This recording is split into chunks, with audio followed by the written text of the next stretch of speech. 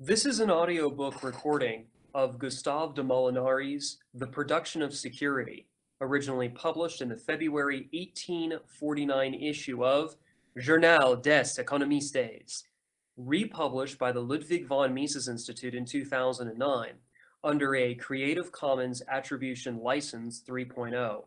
The narration is done by Kyle Rearden, whose other work can be found at both thelastbastille.com and libertyunderattack.com. Preface by Murray Rothbard, written in 1977.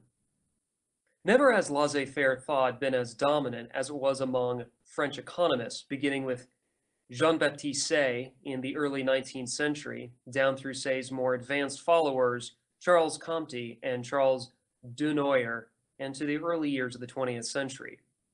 For nearly a century, the laissez-faire economists controlled the professional economic society, the Société d'économie politique, and its journal, the Journal des économistes, as well as numerous other journals and university posts.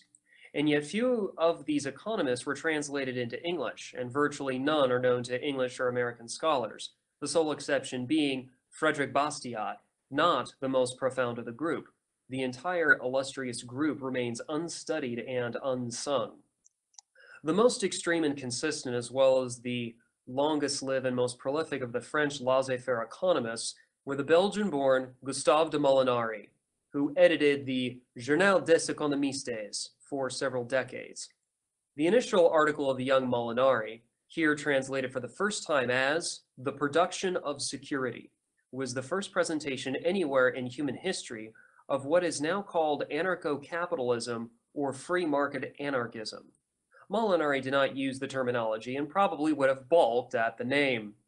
In contrast to all previous individualistic and near anarchistic thinkers such as La Boétie, Hodgskin, or the young Fichte, Molinari did not base the brunt of his argument on the moral opposition to the state. While an ardent individualist, Molinari grounded his argument on free market, laissez-faire economics, and proceeded logically to ask the question, if the free market can and should supply all other goods and services, why not also the services of protection? During the same year, 1849, Molinari expanded his radically new theory into a book, Les Soirées de la Rue Saint-Lazare, a series of fictional dialogues between three people, the conservative, an advocate of high tariffs and state monopoly privileges, the socialist, and the economist himself. The final dialogue elaborated further on his theory of free market protective services. Four decades later, in his Les Lois Naturelles de l'économie politique, 1887, Molinari was still a firm believer in privately competitive police companies, public works companies, and defense companies. Unfortunately, in his only work to be translated into English, Les Sociétés Futures, Society of Tomorrow, Molinari had partially retreated to an advocacy of a single monopoly private defense and protection company rather than allowing free uh, competition. It is instructive to note the storm of contention that Molinari's article in his soirées brought about in the laissez-faire stalwarts of French uh, economics. A meeting of the Société d'économie politique in 1849 was devoted to Molinari's daring new book, The Soirées. Charles Coquelin opined that justice needs a supreme authority and that no competition in any area can exist without the supreme authority of the state. In a similarly unsupported and a priori fulmination, Frederick Bastiat declared that justice and security can only be guaranteed by force and that force can only be, the attribute of a supreme power, the state. Neither commentator bothered to engage in a critique of Molinari's arguments. Only Charles Dunoyer did so, complaining that Molinari had been carried away by the illusions of logic, and maintaining that competition between governmental companies is chimerical because it leads to violent battles. Dunoyer instead chose to rely on the competition of political parties within representative government, hardly a satisfactory libertarian solution to the problem of social conflict. He also opined that it was most prudent to leave force in the hands of the state, where civilization has put it, This is from one of the great founders of the conquest theory of the state. Unfortunately, this critical issue was barely treated in the meeting, since the discussion largely centered on Dunoyer's and other economists criticizing Molinari for going too far in attacking all uses of eminent domain by the state. With this publication of Professor McCulloch's translation of Molinari's original article, let us hope that Molinari will now come to the attention of scholars and translators. The Production of Security by Gustave de Molinari. There are two ways of considering society. According to some, the development of human associations is not subject to providential, unchangeable laws. Rather, these associations, having originally been organized in a purely artificial manner by primeval legislators, can later be modified or remade by other legislators in step with the progress of social science. In this system, the government plays a preeminent role because it is upon it the custodian of the principle of authority, that the daily task of modifying and remaking society devolves. According to others, on the contrary, society is a purely natural fact. Like the earth on which it stands, society moves in accordance with general pre-existing laws. In this system, there is no such thing, strictly speaking, as social science. There is only economic science, which studies the natural organism of society and shows how this organism functions. We propose to examine, within the latter system, the function and natural organization of government, the natural order of society. In order to define and to limit the function of government, it is first necessary to investigate the essence and object of society itself. What natural impulse do men obey when they combine into society? They are obeying the impulse, or to speak more exactly, the instinct of sociability. The human race is essentially sociable. Like beavers and the higher animal species in general, men have an instinctive inclination to live in society. Why did this instinct come into being? Man experiences a multitude of needs on whose satisfaction his happiness depends and whose non-satisfaction entails suffering. Alone and isolated, he could only provide in an incomplete, insufficient manner for these incessant needs. The instinct of sociability brings him together with similar persons and drives him into communication with them. Therefore, impelled by the self-interest of the individuals thus brought together, a certain division of labor is established, necessarily followed by exchanges. In brief, we see an organization emerge by means of which man can more completely satisfy his needs than he could living in isolation. This natural organization is called society. The object of society is therefore the most complete satisfaction of man's needs. The division of labor and exchange are the means by which this is accomplished. Among the needs of man, there is one particular type which plays an immense role in the history of humanity, namely the need for security. What is this need? It is in one's self-interest to procure security at the lowest price possible. Whether they live in isolation or in society, men are, above all, interested in preserving their existence and the fruits of their labor. If the sense of justice were universally prevalent on earth, if, consequently, each man confined himself to laboring and exchanging the fruits of his labor without wishing to take away, by violence or fraud, the fruits of other men's labor, if everyone had, in one word, an instinctive horror of any act harmful to another person, it is certain that security would exist naturally on Earth, and that no artificial institution would be necessary to establish it. Unfortunately, this is not the way things are. The sense of justice seems to be the prerequisite of only a few eminent and exceptional temperaments. Among the inferior races, it exists only in a rudimentary state. Hence the innumerable criminal attempts ever since the beginning of the world since the days of Cain and Abel against the lives and property of individuals. Hence also the creation of establishments whose object is to guarantee to everyone the peaceful possession of his person and his goods. These establishments were called governments. Everywhere, even among the least enlightened tribes, one encounters a government, so universal and urgent is the need for security provided by government. Everywhere, men resign themselves to the most extreme sacrifices, rather than do without government and hence security, without realizing that in so doing, they misjudge their alternatives. Suppose that a man found his person and his means of survival incessantly menaced. Wouldn't his first and constant preoccupation be to protect himself from the dangers that surround him?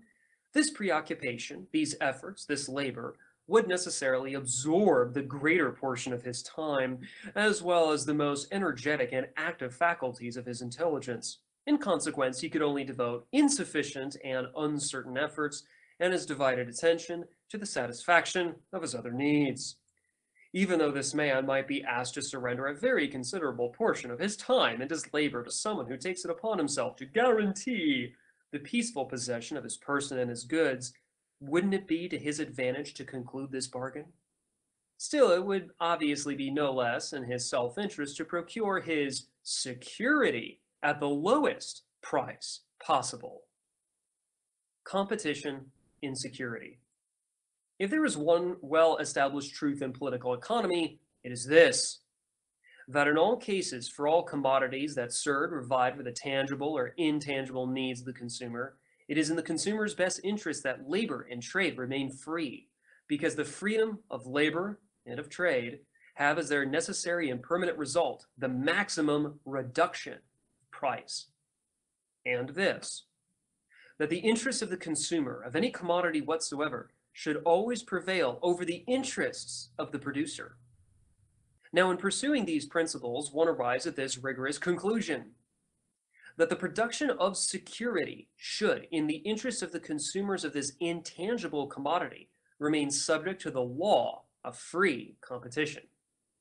Whence it follows that no government should have the right to prevent another government from going into competition with it or to require consumers of security to come exclusively to it for this commodity. Nevertheless, I must admit that, up until the present, one recoiled before this rigorous implication of the principle of free competition. One economist who has done as much as anyone to extend the application of the principle of liberty, Charles Dunoyer, thinks that the functions of government will never be able to fall into the domain of private activity. Now, here is a citation of a clear and obvious exception to the principle of free competition. This exception is all the more remarkable for being unique. Undoubtedly, one can find economists who establish more numerous exceptions to this principle, but we may emphatically affirm that these are not pure economists. True economists are generally agreed on the one hand that the government should restrict itself to guaranteeing the security of its citizens, and on the other hand, that the freedom of labor and of trade should otherwise be whole and absolute.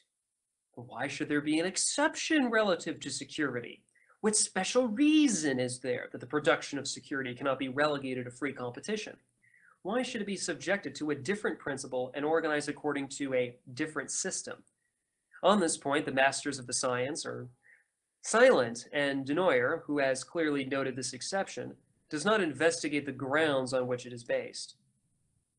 Security and exemption? We are consequently led to ask ourselves whether his exception is well-founded in the eyes of the economist. It offends reason to believe that a well-established natural law can admit of exceptions. A natural law must hold everywhere and always, or be invalid. I cannot believe, for example, that the universal law of gravitation which governs the physical world is ever suspended in any instance or at any point of the universe. Now, I consider economic laws comparable to natural laws, and I have just as much faith in the principle of the division of labor as I have in the universal law of gravitation. I believe that while these principles can be disturbed, they admit of no exceptions. But if this is the case, the production of security should not be removed from the jurisdiction of free competition, and if it is removed, society as a whole suffers a loss. Either this is logical and true, or else the principles on which economic science is based are invalid. The alternatives. It thus has been demonstrated a priori to those of us who have faith in the principles of economic science that the exception indicated above is not justified, and that the production of security, like anything else, should be subject to the law of free competition. Once we have acquired this conviction, what remains for us to do? It remains for us to investigate how it has come about that the production of security has not been subjected to the law of free competition, but rather has been subjected to different principles. What are those principles? Those of monopoly and communism. In the entire world, there is not a single establishment of the security industry that is not based on monopoly or on communism. In this connection, we add in passing a simple remark. Political economy has disapproved equally of monopoly and communism in the various branches of human activity, wherever it has found them. Is it not then strange and unreasonable that it accepts them in the security industry? Monopoly and communism. Let us now examine how it is that all known governments have either been subjected to the law of monopoly or else organized according to the communistic principle.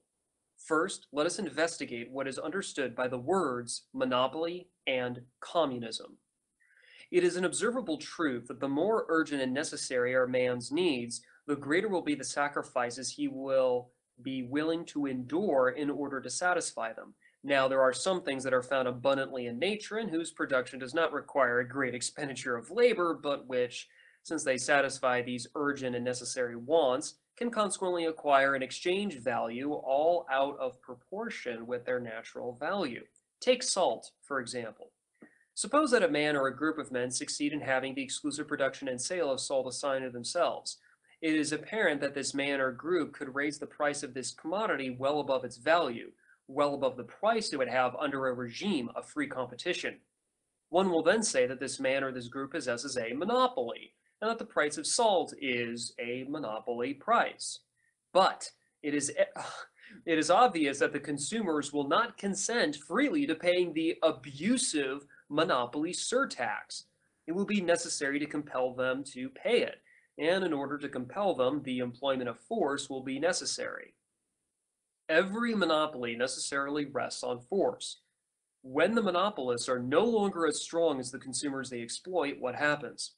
In every instance, the monopoly finally disappears either violently or as the outcome of an amicable transaction.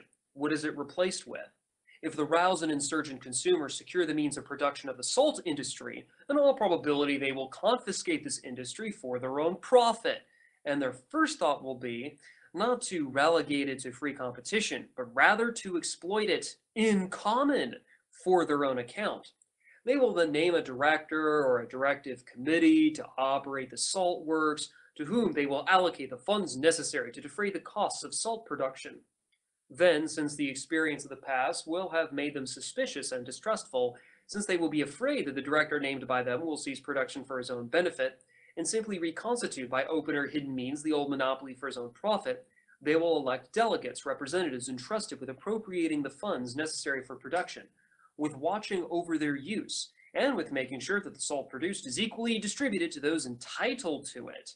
The production of salt will be organized in this manner. This form of the organization of production has been named communism. When this organization is applied to a single commodity, the communism is said to be partial. When it is applied to all commodities, the communism is said to be complete. But whether communism is partial or complete, political economy is no more tolerant of it than it is of monopoly, of which it is merely an extension.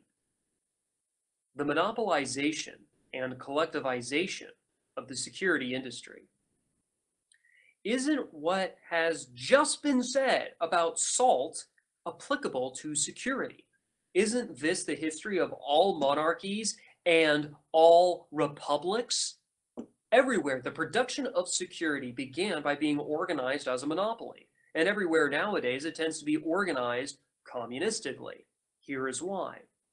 Among the tangible and intangible commodities necessary to man, None, with the possible exception of wheat, is more indispensable and therefore none can support quite so large a monopoly duty, nor is any quite so prone to monopolization. What indeed is the situation of men who need security? Weakness. What is the situation of those who undertake to provide them with this necessary security? Strength. If it were otherwise, if the consumers of security were stronger than the producers, they obviously would dispense with their assistance. Now, if the producers of security are originally stronger than the consumers, won't it be easy for the former to impose a monopoly on the latter? Everywhere, when societies originate, we see the strongest, most warlike races seizing the exclusive government of the society. Everywhere we see these races seizing a monopoly on security within certain more or less extensive boundaries, depending on their number and strength. And this monopoly being, by its very nature, extraordinarily profitable. Everywhere we see the races invested with the monopoly on security devoting themselves to bitter struggles in order to add to the extent of their market, the number of their forced consumers, and hence the amount of their gains. War has been the necessary and inevitable consequence of the establishment of a monopoly on security. Another inevitable consequence has been that this monopoly has engendered all other monopolies. When they saw the situation of the monopolizers of security, the producers of other commodities could not help but notice that nothing in the world is more advantageous than monopoly. They in turn were consequently tempted to add to the gains from their own industry by the same process. What they, but what did they require in order to monopolize to the detriment of the consumers, the commodity they produced? They required force. However, they did not possess the force necessary to constrain the consumers in question. What did they do? They borrowed it for a consideration from those who had it. They petitioned and obtained at the price of an agreed upon fee the exclusive privilege of carrying on their industry within certain determined boundaries. Since the fees for these privileges bar- brought the producers of security a goodly sum of money, the world was soon covered with monopolies labor and trade were everywhere shackled, enchained, and the condition of the masses remained as miserable as possible. Nevertheless, after long centuries of suffering, as enlightenment spread through the world, little by little, the masses who had been smothered under this nexus of privileges began to rebel against the privilege and to demand liberty, that is to say, the suppression of monopolies. This process took many forms. What happened in England, for example? Originally, the race which governed the country and which was militarily organized, the aristocracy, having at its head a hereditary leader, the king, and an equally hereditary administrative council, the House of Lords, set the price of security, which it had monopolized, at whatever rate it pleased. There was no negotiation between the producers of security and the consumers. This was the rule of absolutism. But as time passed, the consumers, having been aware of their numbers and strength, arose against the purely arbitrary regime, and they obtained the right to negotiate with the producers over the price of the commodity. For this purpose, they sent delegates to the House of Commons to discuss the level of taxes, the price of security. They were thus able to improve their lot somewhat. Nevertheless, the producers of security had a direct say in the naming of the members of the House of Commons, so that debate was not entirely open and the price of the commodity remained above its natural value. One day, the exploited consumers rose against the producers and, dis- and dispossessed them of their industry. They then undertook to carry on this industry by themselves and chose for this purpose a director of operations assisted by a council. Thus, communism replaced monopoly. But the scheme did not work, and 20 years later, primitive monopoly was re-established. Only this time the monopolists were wise enough not to restore the rule of absolutism. They accepted free debate over taxes, being careful all the while incessantly to corrupt the delegates of the opposition party. They gave these delegates control over various posts in the administration of security, and they even went so far as to allow the most influential into the bosom of their superior council. Nothing could have been more clever than this behavior. Nevertheless, the consumers of security finally became aware of these abuses and demanded the reform of Parliament. This long contested reform was finally achieved, and since that time, the consumers have won a significant lightening of their burdens. In France, the monopoly on security, after having similarly undergone frequent vicissitudes and various modifications, has just been overthrown for the second time. As once happened in England, monopoly for the benefit of one caste, and then in the name of a certain class of society, was finally replaced by communal production. The consumers as a whole, behaving like shareholders, named a director responsible for supervising the actions of the director and of his administration. We will content ourselves with making one simple observation on the subject of this new regime just as the monopoly on security logically had to spawn universal monopoly, so communistic security must logically spawn universal communism. In reality, we have a choice of two things. Either communistic production is superior to free production, or it is not. If it is, then it must be for all things, not just for security. If not, progress requires that it be replaced by free production. Complete communism or complete liberty. That is the alternative. Government and society. But it is conceivable that the production of security could be organized other than as monopoly or communistically. Could it conceivably be relegated to free competition? The response to this question on the part of political writers is unanimous. No. Why? We will tell you why because these writers, who are concerned especially with governments, know nothing about society.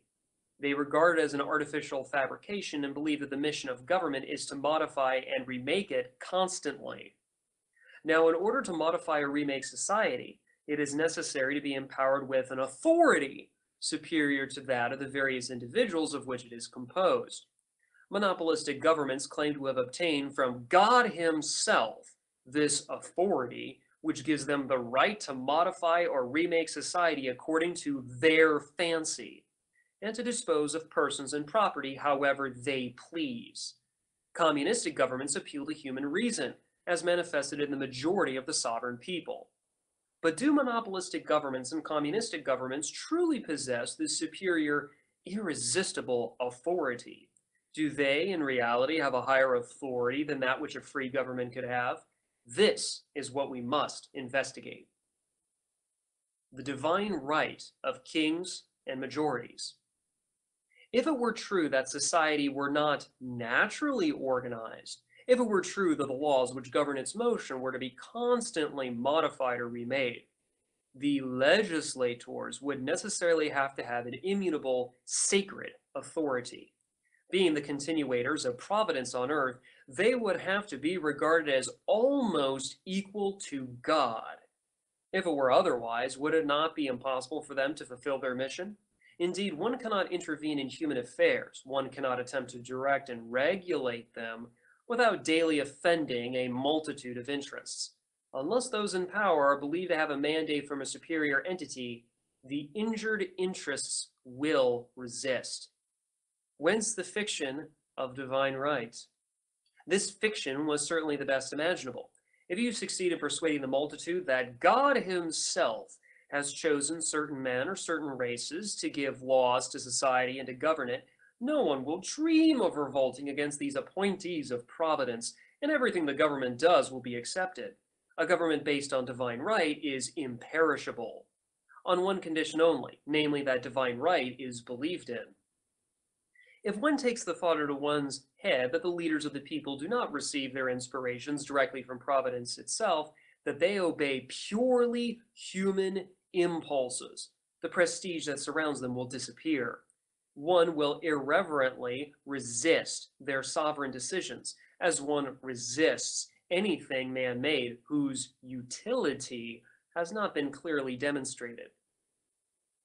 It is accordingly fascinating to see the pains theoreticians of the divine right take to establish the superhumanity of the races in possession of human government. Let us listen, for example, to Joseph de Maistre. Quote, Man does not make sovereigns. At the very most, he can serve as an instrument for dispossessing one sovereign and handing his state over to another sovereign, himself already a prince. Moreover, there can never be, have existed a sovereign family traceable to plebeian origins. If this phenomenon were to appear, it would mark a new epoch on earth. It is written, I am the maker of sovereigns. This is not just a religious slogan, a preacher's metaphor. It is the literal truth, pure and simple. It is a law of the political world. God makes kings, word for word. He prepares royal races, nurtures them at the center of a cloud which hides their origins.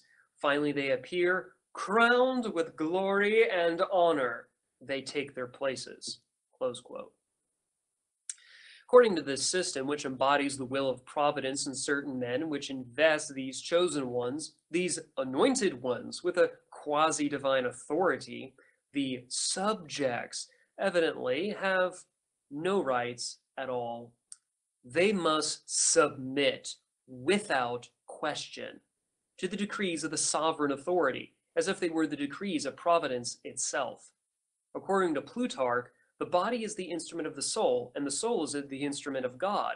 According to the divine right school, God selects certain souls and uses them as instruments for governing the world. If men had faith in this theory, surely nothing could unsettle a government based on divine right. Unfortunately, they have completely lost faith. Why? Because one fine day they took it into their heads to question and to reason, and in questioning, in reasoning, they discovered that their governors govern them no better than they, simply mortals out of communication with Providence, could have done with themselves. It was free inquiry that demonetized the fiction of divine right to the point where the subjects of monarchs or of, or of aristocracies based on divine right obey them only insofar as they think it is in their own self-interest to obey them. Has the communist fiction fared any better? According to the communist theory, of which Rousseau is the high priest, authority does not descend from on high, but rather comes up from below. The government no longer looks to providence for its authority. It looks to united mankind, to the one indivisible and sovereign nation. Here is what the communists, the partisans of popular sovereignty, assume. They assume that human reason has the power to discover the best laws in the organization which most perfectly suits society, and that in practice these laws reveal themselves at the conclusion of a free debate between conflicting opinions. If there is no unanimity, if there is still dissension after the debate, the majority is in the right since it comprised the larger number of reasonable individuals. These individuals are, of course, assumed to be equal, otherwise the whole structure collapses. Consequently, they insist that the decisions of the majority must become law, and that the minority is obliged to submit to it, even if it is contrary to its most deeply rooted convictions and injures its most precious interests. That is the theory, but in practice, does the authority of the decision of the majority really have this irresistible absolute character as assumed? Is it always in every instance respected by the minority? Could it be? Let us take an example.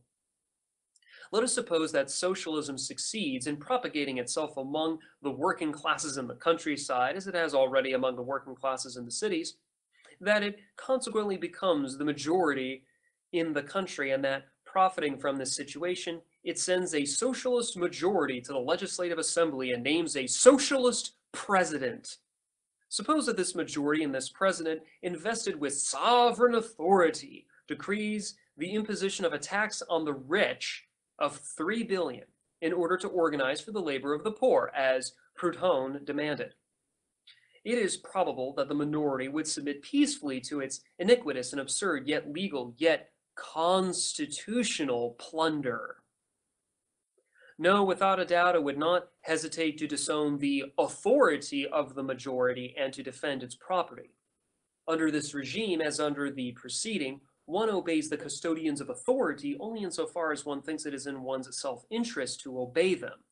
This leads us to affirm that the moral foundation of authority is neither as solid nor as wide under a regime of monopoly or of communism as it could be under a regime of liberty. The regime of terror.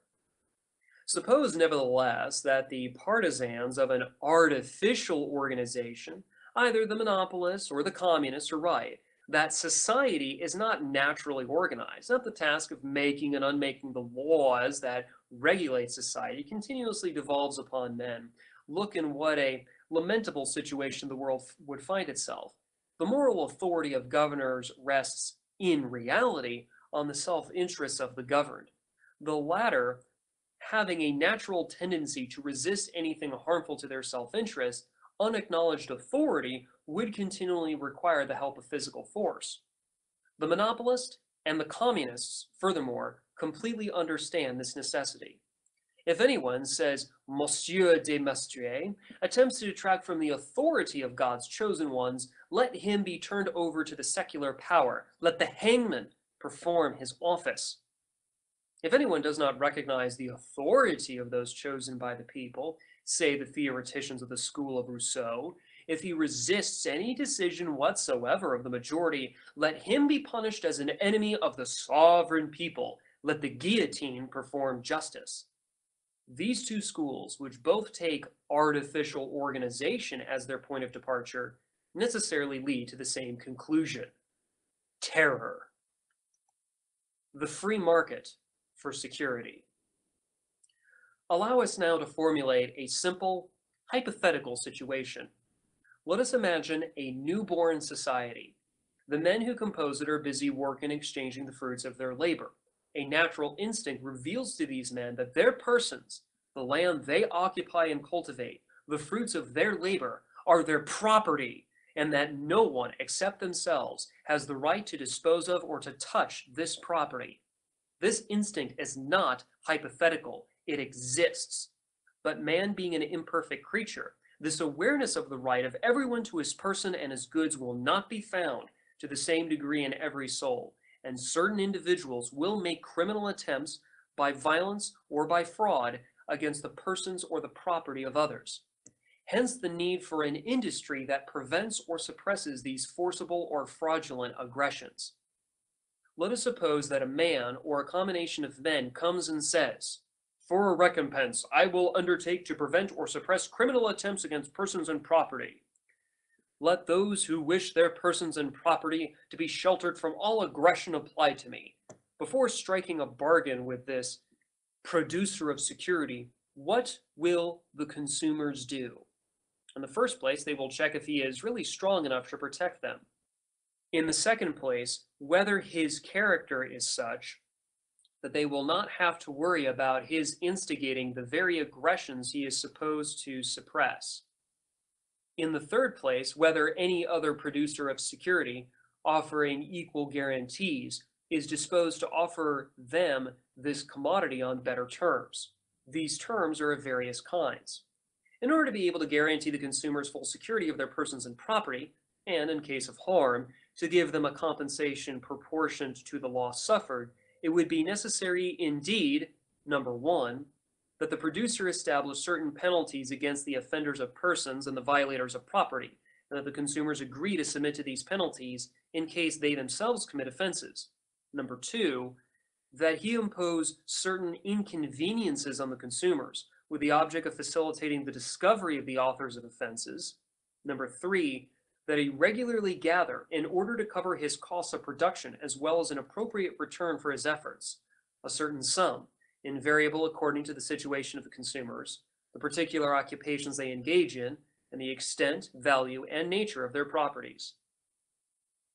If these terms necessary for carrying on this industry are agreeable to the consumers, a bargain will be struck. Otherwise, the consumers will either do without security or else apply to another producer.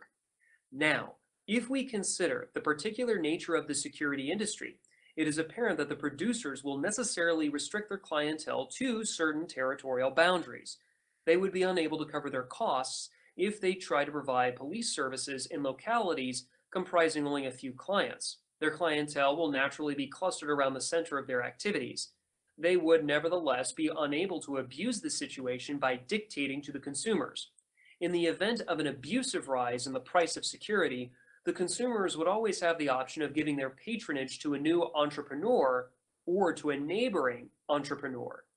This option the consumer retains of being able to buy security whenever he pleases brings about a constant emulation among all the producers, each producer striving to maintain or augment his clientele with the attraction of cheapness or a faster, more complete and better justice.